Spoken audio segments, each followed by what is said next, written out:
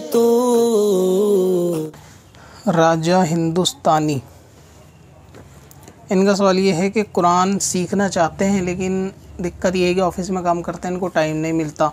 YouTube के ऊपर क्या ख़ुद कुरान सीख सकते हैं, ऑफ़िस में बैठ के अगर मोबाइल में खाली टाइम में ख़ुद सीखना चाहें तो सीख सकते हैं या नहीं। लेकिन ऑफ़िस के अंदर पाक भी नहीं रहते, पाक रहने का भी मसला है इनके साथ तो ऐसे सूरत में क्या करना चाहिए? तो सबसे पहले ये कि कुरान पाक तो जल्द से जल्द सीखने की कोशिश करनी चाहिए, वरना कम से कम एक दो सूरतें तो सुनकर भी सीखी जा सकती हैं कि जिनसे नमाज़ को बचाया जा सके। और आजकल ऐसा ट्रेंड चल गया है कि लोगों की जब शादी का टाइम होता है ना, उस टाइम पे कुरान सीखते हैं। कि गोया रिश्ते में बताना पड़ता है कि कुरान आता है, नहीं आता तो ये चीज़ थोड़ी उन्हें शर्मसार करती है। बाकी पूरी ज़िंदगी कुरान नहीं पढ़ते तो उनको शर्म नहीं आती, लेकिन रिश्ता लगाने के टाइम पे वालिदैन को भी शर्म आती है और औलाद को भी शर्म आती है। उस टाइम ये लोग बहुत ज़्यादा शर्म वाले, हया वाले बन जाते हैं। बाकी पूरी ज़िंदगी बीस साल तक बेशर्म रहते हैं कि इनको अल्लाह ताला का कलाम पढ़ना नहीं आता। उनको कुरान पढ़ना नहीं आता, उस वक्त इनको शर्म नहीं आती। तो ये भी सूरत आजकल ज़्यादा ट्रेंड में चल रही है कि शादी के टाइम लोग बच्चों को बड़े होने पर जो है ना कुरान सिखाते हैं। बचपन से इस तरफ़ ध्यान नहीं देते बचपन से दूसरी तालीम पे ध्यान देते हैं और कुरान को छोड़कर दूसरी तालीम पे ध्यान देते हैं। हालाँकि दोनों चीज़ साथ चलाई जा सकती हैं।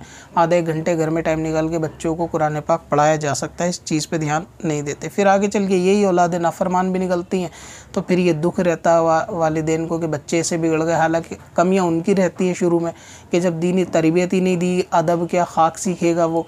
तो और ये आदाब जो है वालदेन के ये स्कूल कॉलेज में नहीं सिखाए जाते।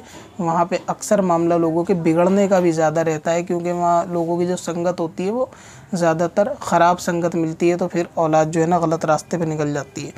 तो यूट्यूब से अगर कुरान पाक आपको लगता है कि सही से सीख पाएँगे बगैर किसी की मदद से तो मेन मसला सीखने का है। आप यूट्यूब से सीखें या किसी भी ट्यूब से सीखें, वो सीखने का मुद्दा अगर सीखना चाहें तो सीख सकते हैं, इसमें कोई हरज नहीं है।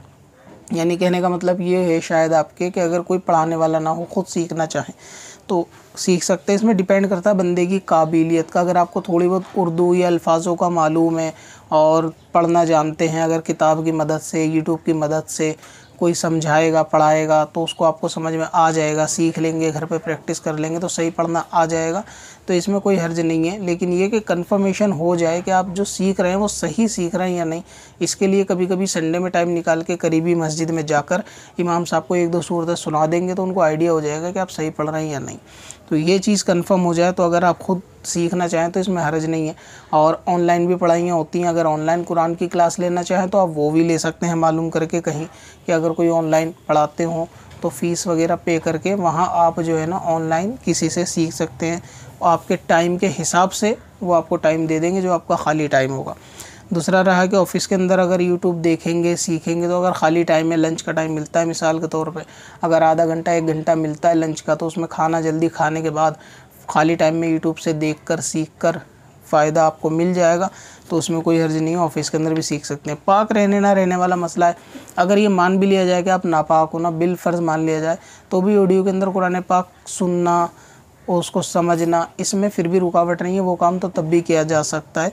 लेकिन ऑफ़िस में पाक नहीं रहते, ये चीज़ समझ में नहीं आई है। आप दोबारा एक दफ़ा लिख दें सवाल के अंदर कि किस तरह से आप नापाक रहते हैं, क्योंकि कभी कभी ऐसा होता है कि लोग नापाक होते नहीं हैं, लेकिन वो समझ रहे होते हैं कि हम नापाक हैं, हालाँकि वो नापाक नहीं होते। जिसकी एक मिसाल अभी आज की रिकॉर्डिंग में शायद पेशाब करके इस्तेंजा ना करने वाली गुजरी है कि लोग इस्तेंजा नहीं करते तो ये समझ रहे होते हैं कि हम नापाक हो गए। हालाँकि पेशाब करके इस्तेंजा ना करने से भी नापाक नहीं होते।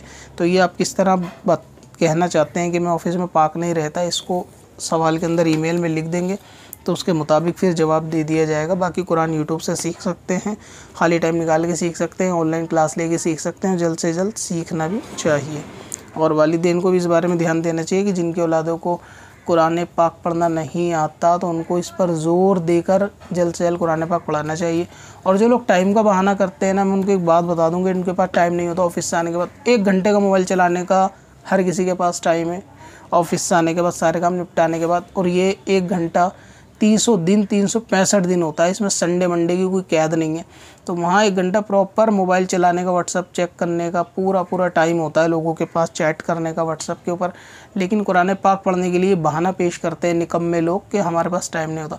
मोबाइल को साइड में अगर रख दिया जाए तो हर आदमी की ज़िंदगी से एवरेज तीन घंटे निकल जाएँगे अगर फ़ोन एक्स्ट्रा इस्तेमाल उसका हटा दिया जाए। जायज़ इस्तेमाल की बात कर रहा हूँ कि अगर फ़ोन करना, ना करना ज़रूरत जो इससे फ़ोन से होती है, उसको हटा दिया जाए तो एवरेज जो है ना पर डे तीन घंटे ऐसे एक्स्ट्रा निकलेंगे। अगर आप तीन घंटे खाली बैठना चाहें तो बैठ सकते हैं। मोबाइल के इस्तेमाल को आप टाइम में काउंट ना करें कि ये बिज़ी रहते हैं। असल में ये फ्री टाइम ही होता है जो आप मोबाइल इस्तेमाल करते हैं। तो एक दफ़ा मोबाइल को दूर पटक दें तो उसके बाद आपको महसूस होगा कि आपके पास खाली टाइम बहुत ज़्यादा है, जिसमें आप पढ़ सकते हैं। कब से अपनी खताओं का शुमारा जाएगा।